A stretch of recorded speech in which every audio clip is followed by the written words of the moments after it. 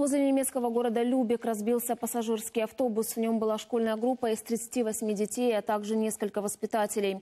Двух пассажиров доставили в больницу вертолетами. Еще несколько человек получили незначительные травмы. Автобус, направляясь в детский лагерь, когда случилась авария, водитель выехал на встречную полосу, чтобы избежать столкновения с автомобилем на повороте и врезался в скорую помощь.